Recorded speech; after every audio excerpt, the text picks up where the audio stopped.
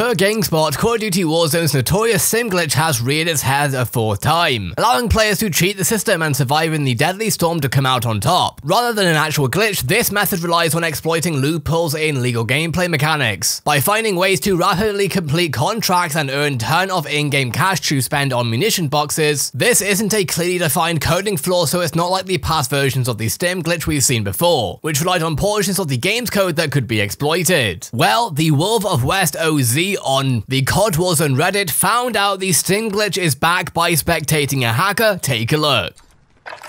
He's not even worried about that guy swooping around to his right. Did he not hear him? Exactly. No, he knows where he is. What the? What the was that? Don't you tell me there's a Steam glitch as well. Nine. It's back. It's back. No. Yeah, is. that's working. Yeah, he's already steamed three times. Oh, it's back Oh. again. My god. You fucking loser. Eating, eating. So not only the wall hacks, aimbot, How, how can they as get well. rid of this fucking glitch?